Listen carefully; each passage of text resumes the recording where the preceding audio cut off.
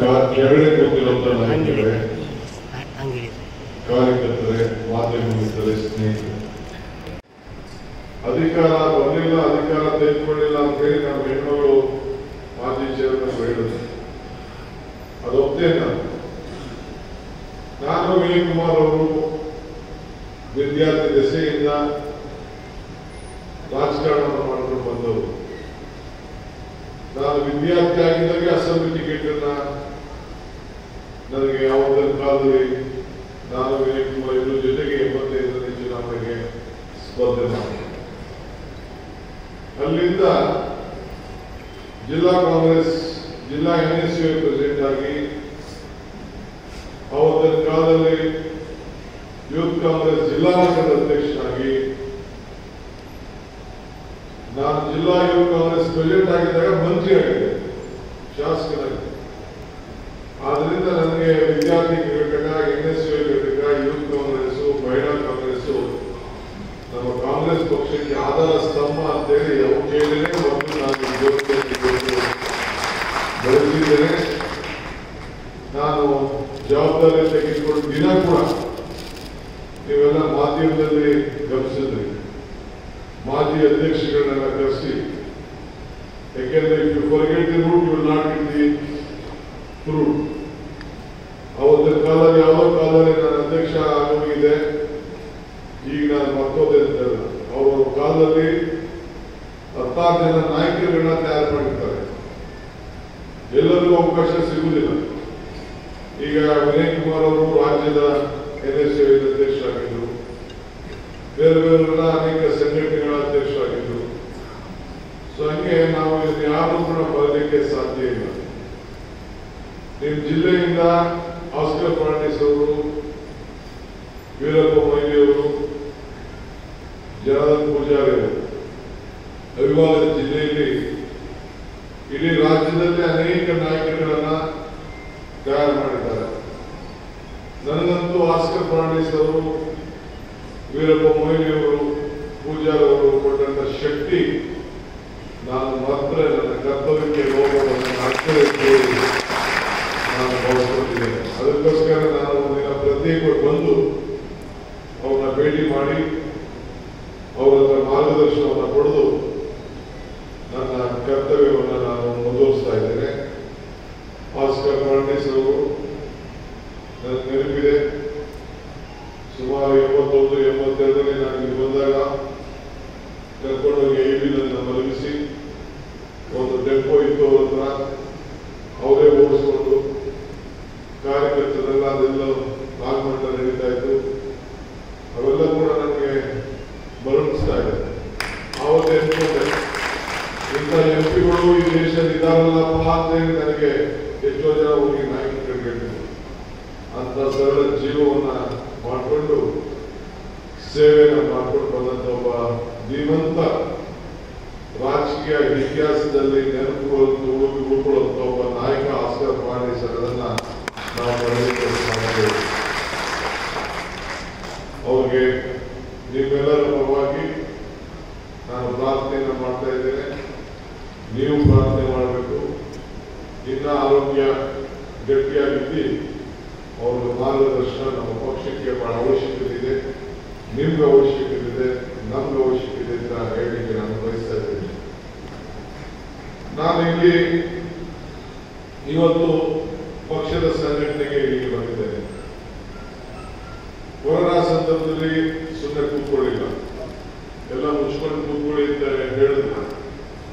Officers ಹೇಳಿದ್ರು ಇಡೀ ದೇಶದಲ್ಲಿ ನಾವು ತೂಕಕ್ಕೆ ಹೋಗಲಿಲ್ಲ ನಮ್ಮದೇ ಆದಂತಹ ರೀತಿಯಲ್ಲಿ ಹೋರಾಟವನ್ನು ಮಾಡಿ, ಇಡೀ ದೇಶ ರಾಜ್ಯದಲ್ಲೇ ಸಮಿತಿಗಳನ್ನು ರಚನೆ ಮಾಡಿ, ಬಡವರಿಗೆ ಸಹಾಯವನ್ನು ಮಾಡಿ, ಹೋರಾಟ ಮಾಡಿ, ಸರ್ಕಾರಕ್ಕೆ ಮಾರ್ಗದರ್ಶನವನ್ನು ಕೊಟ್ಟು, ಸರ್ಕಾರಕ್ಕೆ ಒತ್ತಡವನ್ನು ತಂದು, ಎಲ್ಲ ಶ್ರಮಿಕ ವರ್ಗದವರಿಗೆ ಎಲ್ಲರೂ ಕೂಡ ಆ ಸಮಾಜದಲ್ಲಿ ವೃತ್ತಿಯನ್ನ ಯಾರು ಘೋಷಿಸಿಕೊಂಡು ಬಂದಿದ್ದಾರೆ, ಅವರಿಗೆ ಸಹಾಯ ಆಗಬೇಕು, ರೈತರಿಗೆ ಸಹಾಯ ಆಗಬೇಕು, ಕಾರ್ಮಿಕರಿಗೆ ಸಹಾಯ ಮಾಡಬೇಕು ಅಂತ ಹೇಳಿ ಸರ್ಕಾರದ ಮೇಲೆ ಬೇಕಾದಷ್ಟು ಹೋರಾಟವನ್ನು ನಾವು ತಂದು ನಿಮಗೆಲ್ಲ ಗೊತ್ತಿದೆ ನಾವು ಆ ಸಂದರ್ಭದಲ್ಲಿ ನಮ್ಮ ಏನು ಹೊರಗಡೆಯಿಂದ ಬಂದು ಹೊರಗಡೆ ರಾಜ್ಯಗಳಿಂದ ಬಂದು ಹೊರಗಡೆ ಜಿಲ್ಲೆಗಳಿಂದ ಬಂದು ಬೆಂಗಳೂರಿಗೆ ವಿವಿಧ ಕಡೆ ಬಂದು ಕೆಲಸವನ್ನ ಯಾರು ಮಾಡ್ತಾ ಇದ್ರು ಅವ್ರ ಪರವಾಗಿ ನಾವು ನಿಂತ್ಕೊಂಡು ಮೈಗ್ರೆಂಟ್ಸ್ ಅಂತ ಕರೀತಾ ಇದ್ವಿ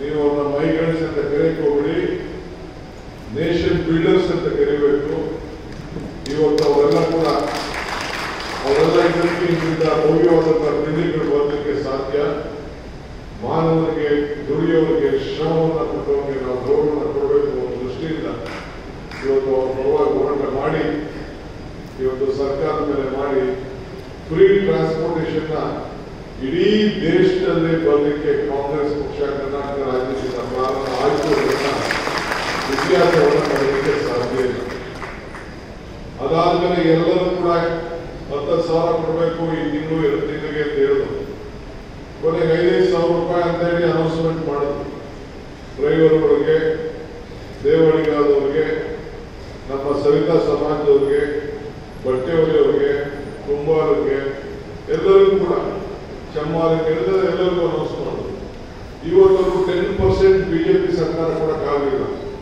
ಟೆನ್ ಪರ್ಸೆಂಟ್ ಫಿಫ್ಟೀನ್ ಪರ್ಸೆಂಟ್ ಇವತ್ತು ಕೂಡ ಕೊಡಕ್ಕಾಗಲಿಲ್ಲ ಇಂಥ ಸಂದರ್ಭ ಒಂದು ಕಡೆ ಕೇಂದ್ರ ಸರ್ಕಾರ ಇಪ್ಪತ್ತು ಲಕ್ಷ ಕೋಟಿ ಅನೌನ್ಸ್ ಮಾಡೋದು.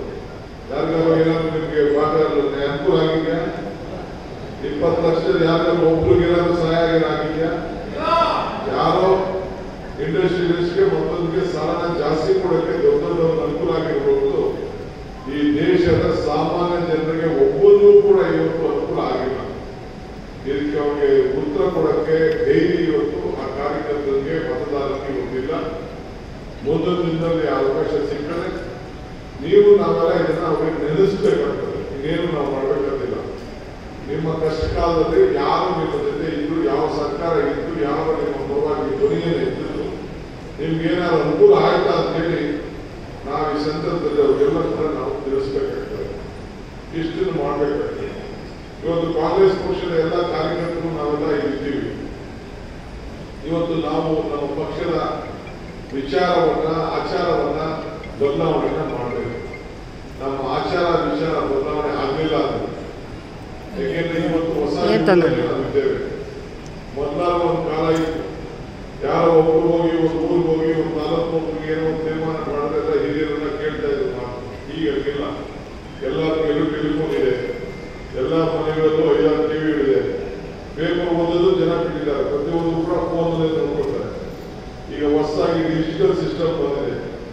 ಅದಕ್ಕೋಸ್ಕರ ನಾನು ನಾನು ಪ್ರತಿಜ್ಞೆ ತೆಗೆದುಕೊಳ್ಬೇಕಾದ್ರೆ ಹೊಸ ಮಾದರಿಯಲ್ಲಿ ಸರ್ಕಾರದವರು ನನಗೆ ಟೈಮ್ ಕೊಡದೆ ಹೋದ್ರು ಕೂಡ ನನ್ನದೇ ಆದಂತಹ ಒಂದು ಅನುಭವದಲ್ಲಿ ನಾನು ತಿಳಿದು ಇವತ್ತು ಸುಮಾರು ಲಕ್ಷಾಂತರ ಜನ, ಒಂದು ಕೋಟಿ ನಲವತ್ತು ಲಕ್ಷ ಜನ ಟಿವಿಲಿ ಮತ್ತು ಫೇಸ್ಬುಕ್ಗಳಲ್ಲಿ ಬೇರೆ ಬೇರೆ ರೀತಿಯಲ್ಲಿ ಅವರು ಗಮನಿಸಿದ್ದಾರೆ. ನಾನು ಅವರೆಲ್ಲ ನನಗೆ ಓಟ್ ಹಾಕ್ತೇನೆ ಅಂತ ನಾನು ಹೇಳ್ತಾ ಇಲ್ಲ ಆದರೆ ಒಂದು ಕ್ಯೂರಿಯಾಸಿಟಿ, ಒಂದು ಕಾಂಗ್ರೆಸ್ ಪಕ್ಷದ ಕಾರ್ಯಕರ್ತರು ಜವಾಬ್ದಾರಿ ತೆಗೆದುಕೊಳ್ಳುವಾಗ ಬಹುಶಃ ಒಳಗಡೆ ಯಾವ ರೀತಿ ಇತ್ತು ಅನ್ನೋದನ್ನ ನಾನು ಅದನ್ನ ಯಾವ್ದಾದ್ರು ಒಂದು ಯೂಟ್ಯೂಬ್ಗೆ ನಾನು ಹಾಲ್ನಲ್ಲಿ ಈ ಕಾರ್ಯಕ್ರಮ ನಡೀತು. ಯಾವ ರೀತಿ ನೋಡೋದು ಅಂತೇಳಿ ಯೂಟ್ಯೂಬ್ನಲ್ಲಿ ಯಾವುದಾದ್ರು ದಿನ ನಾನು ಕಂಪ್ಲೀಟ್ ಒಂದು ಇಪ್ಪತ್ತು ನಿಮಿಷದ ಮಾಡಿ ನನ್ನ ರಿಲೀಸ್ ಮಾಡಲಿಕ್ಕೆ ಪ್ರಯತ್ನವನ್ನು ನಾನು ಮಾಡ್ತೇನೆ. ಈಗ ಕೆಲಸ ನಾನು ಮಾಡಿಲ್ಲ. ವಿನೂತನವಾಗಿ ಯಾವ ದೇಶದಲ್ಲೂ ಕೂಡ ಆ ರೀತಿ ಮಾಡಿ ಸಾಧ್ಯ ಇಲ್ಲ. ಸುಮಾರು ಹನ್ನೊಂದು ಸಾವಿರ ಕಡೆ ಏನು ಕಾರ್ಯಕ್ರಮ ನೀವು ಮಾಡ್ತಾ ಇದ್ರಿ ನಿಮ್ಮಲ್ಲಿ ಸುಮಾರು ಮುನ್ನೂರ ಎಂಬತ್ತೊಂದು ಕಡೆ ಏನ್ ನಡೀತು ಅಂತೇಳಿ ನಮ್ಗೆ ನಮ್ಮ ಎಲ್ಲ ಕೋಆರ್ಡಿನೇಟರ್ಸ್ ನಮ್ಗೆ ವರದಿಯನ್ನು ಕೊಟ್ಟಿದ್ದಾರೆ. ಜಿಲ್ಲಾ ಕಾಂಗ್ರೆಸ್ ವರದಿಯನ್ನು ಕೊಟ್ಟಿದ್ದಾರೆ. ಅದೆಲ್ಲ ಕೂಡ ಒಂದು ನಿಮಿಷ ಅಲ್ಲಿ ಹೋಗ್ತಾ ಇದ್ರು ರನ್ ಆಗ್ತಾ ಇದ್ರು ಈ ಕಡೆಯಿಂದ ಪ್ರಾರಂಭ ಆದ್ರೆ ಈ ಕಡೆ ಹೋಗ್ತಾ ಇದ್ರು ಅಂದ್ರೆ ನಾಯಕರು ಕೂಡ ನಿಮ್ಮನ್ನ ನೋಡ್ತಾ ಇದ್ದಾರೆ ನೀವು ಕೂಡ ಅದೇನ್ ನಡೀತಾ ಇತ್ತು ಅಂತ ನೋಡುವಂತ ಒಂದು ಅವಕಾಶವನ್ನ ನಾವು ಮಾಡಕ್ಕೆ ನನಗೆ ನಿಮ್ಮ ಇನ್ವಾಲ್ವ್ಮೆಂಟ್ ಬಹಳ ಮುಖ್ಯ ಇದೆ.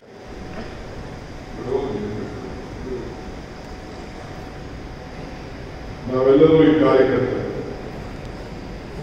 ಏನಪ್ಪ ವಿನಯ್ ಕುಮಾರ್ ಹೆಸರು ಹೇಳಿಲ್ಲ ಪೂಜಾರಿ ಹೆಸರು ಹೇಳಿಲ್ಲ ಸಭಾಪತಿ ಹೆಸರು ಹೇಳಿಲ್ಲ ಮಿಥುನ್ ಹೆಸರು ಹೇಳಿಲ್ಲ ಅಮರನಾಥ್ ಹೆಸರು ಹೇಳಿಲ್ಲ ಅಂತ ಯಾರು ಬೇಜಾರೇನು ಮಾಡ್ಕೋ ಅವಶ್ಯಕತೆ ಇಲ್ಲ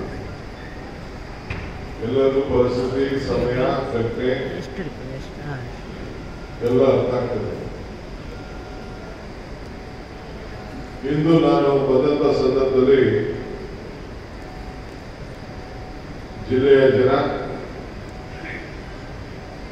ನನಗೆ ಮತ್ತು ನಮ್ಮ ಎಲ್ಲ ನನ್ನ ಜೊತೆ ಬಂದಂತ ಮುಖಂಡರಿಗೆ ಒಂದು ಭವ್ಯವಾದಂತಹ ಸ್ವಾಗತವನ್ನ ನನ್ನ ಯುವಕರು ಹಿರಿಯರು ಎಲ್ಲ ಸೇರಿ ಕೊಟ್ಟಿದ್ದೀರಿ.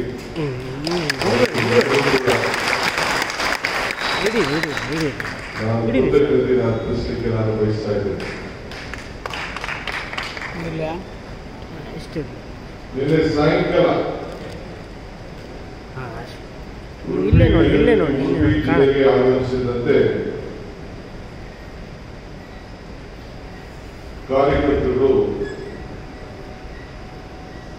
ನಾನು ತಿಹಾರ್ ಜೈಲಿನಲ್ಲಿ ಇದ್ದಂತ ಸಂದರ್ಭದಲ್ಲಿ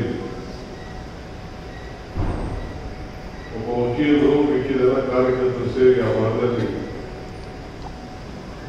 ದುರ್ಗಾ ಬಸವೇಶ್ವರ ಕಮಲಶ್ರೀಯಲ್ಲಿ ಅರ್ಕೆ ಮಾಡಿಕೊಂಡು ನೀವು ಬರಲೇಬೇಕು ಅಂತ ನನಗೆ ಕೇಳಿಕೊಂಡು ಇದು ಬರೀ ಈ ಜಿಲ್ಲೆಯ ಮಾತ್ ಕಾರ್ಯಕರ್ತರಲ್ಲಿ ಮಾತ್ರ ಅಲ್ಲ ರಾಜ್ಯದ ವಿವಿಧ ಮೂಲೆಯಲ್ಲಿ ಕೂಡ ಕಾರ್ಯಕರ್ತರು ಅಭಿಮಾನಿಗಳು. ಪಕ್ಷದಲ್ಲಿರೋರು ಹಾಗೆ. ಪಕ್ಷವಿಲ್ಲದವರು ಎಲ್ಲರೂ ಕೂಡ ಎಲ್ಲಾ ಪಾರ್ಟಿಗಳು ಕೂಡ ಶಿವಕುಮಾರ್ ಒಳ್ಳೇದಾಗಬೇಕು ಅನ್ಯಾಯ ಆಗಿದೆ ಅಂತ ಹೇಳಿ ಅಲ್ಲಿ ಬಂದು ಕೋರ್ಟಲ್ಲಿ ವಾದ ಮಾಡಕ್ ಆಗದೇವಾದ್ರು ಕೂಡ ಬಿಜೆಪಿ ಜಗಳ ಮಾಡಕ್ ಹೋದ್ರು ಕೂಡ, ಭಕ್ತನಿಗೂ ಭಗವಂತನಿಗೂ ವ್ಯವಹಾರ ನಡೆಯುವಂತ ಸ್ಥಳ ದೇವಾಲಯ. ಅಲ್ಲಿ ಹೋಗಿ ದೇವರ ಮುಂದೆ ಅರ್ಕೆ ಮಾಡಿಕೊಂಡು ಪ್ರಾರ್ಥನೆ ಮಾಡಿ, ಪ್ರತಿಭಟನೆ ಮಾಡಿ, ಆ ನಿಮ್ಮೆಲ್ಲರ ಪೂಜಾ ಫಲದಿಂದ ನಾನು ಒಂದು ಇಲ್ಲಿ ನಿಮ್ಮ ಕಾಂಗ್ರೆಸ್ ಪಕ್ಷದ ಅಧ್ಯಕ್ಷರಾಗಿ ನಾನು. ನನಗೋಸ್ಕರ ಪ್ರಾರ್ಥನೆ ಮಾಡಿಕೊಂಡು, ಹೋರಾಟ ಮಾಡಿಕೊಂಡು, ಕೇಸ್ ಹಾಕ್ಸ್ಕೊಂಡು, ಸುಟ್ಟು, ರಸ್ತೆಯಲ್ಲಿ ಜಗಳಾಡಿ ಪೊಲೀಸರು ಮೇಲಾಡಿ ಬಿಜೆಪಿಯವ್ರನ್ನ ಸ್ಟೇಟ್ಮೆಂಟ್ ಕೊಟ್ಟು ಎಲ್ಲ ಕೂಡ ತಾವೆಲ್ಲ ಎಷ್ಟು ನೊಂದಿದ್ದೀರಿ ಎನ್ನುವುದು ಬೆಂಗಳೂರಿನಲ್ಲಿ ಇಡಿ ಒಳಗಡೆ ನನ್ನ ಅರೆಸ್ಟ್ ಆದ ಮೂರ್ನಾಲ್ಕು ಕೆಲವು ಸಂಘಟನೆಗಳು ಪ್ರತಿಭಟನೆ ಮಾಡಿದಾಗ ಯಾವ ನಾಯಕತ್ವನೂ ಇದೆ ಆ ಬೆಂಗಳೂರಿನಲ್ಲಿ ಇದ್ದಂತ ಸಾಗರ, ಉತ್ಸಾಹ, ಪ್ರೀತಿ ಇವನ್ನ ಮರೆಯಲಿಕ್ಕೆ ಸಾಧ್ಯ ಇಲ್ಲ. ಕಾಂಗ್ರೆಸ್ ಕಾರ್ಯಕರ್ತರಾಗಿ ನನಗೆ ಅನ್ಯಾಯ ಆಗಿದೆ ಅಂತ ಹೇಳಿ, ಶ್ರೀಮತಿ ಸೋನಿಯಾ ಗಾಂಧಿಯವರು ಕೂಡ ತಿಹಾರ್ ಜೈಲಿಗೆ ಬಂದು ಒಂದು ಗಂಟೆಗಳ ಕಾಲ ನನ್ನ ಜೊತೆಯಲ್ಲಿ ಧೈರ್ಯವನ್ನು ಅವರು ಅಂಬಿಕಾ ಸೋನಿ ಅವರು ಅಹಮದ್ ಪಟೇಲ್ ಅವರು, ವೇಣುಗೋಪಾಲ್ ಅವರು ಇವರೆಲ್ಲ ಕೂಡ ಬಂದು ಜೈಲಲ್ಲಿ ಕೂತ್ಕೊಂಡು ಮಾತಾಡಿ ಧೈರ್ಯವನ್ನು ತುಂಬಿ ನನಗೆ ಶಕ್ತಿ ಕೊಟ್ಟಿದ್ದು ಡಿ ಕೆ ಅವರ ಶಕ್ತಿ. ಇಡೀ ದೇಶದ ಕಾಂಗ್ರೆಸ್ ಕಾರ್ಯಕರ್ತರಿಗೆ ಸಾಧ್ಯ ಇಲ್ಲ ನನಗೆ ಹೆಚ್ಚಿಗೆ ಜವಾಬ್ದಾರಿ ಬಂದಿದೆ ಅನ್ನೋದನ್ನ ನಾನು ಹೇಳ್ತಾ ಇದ್ದೇನೆ. ನನಗೆ ಇವತ್ತು ಕಾಂಗ್ರೆಸ್ ಪಕ್ಷದ ಅಧ್ಯಕ್ಷರಾಗಿ ಈ ವಿಡಿಯೋ ನಿಮಗೆ ಇಷ್ಟವಾದಲ್ಲಿ ಲೈಕ್ ಮಾಡಿ, ಶೇರ್ ಮಾಡಿ, ಸಬ್ಸ್ಕ್ರೈಬ್ ಮಾಡಿ.